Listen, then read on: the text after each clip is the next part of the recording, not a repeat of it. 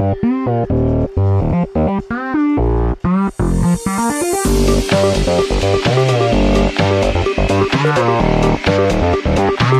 the combine is one of the tools for evaluations.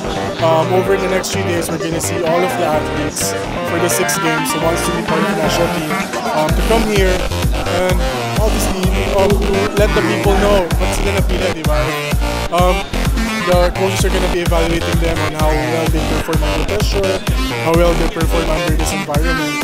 And then I think naman with, with the turnout, obviously it's early. I think it's gonna get better. I think we're gonna have more we go on. We're very confident that after the combine, we know we have a very good idea of who we want to be part of.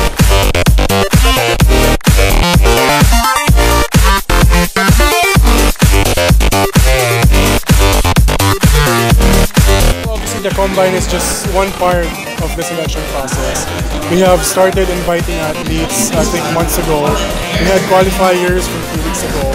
So since na-complete yung pool nila, they're actually doing, the teams are actually doing um, practice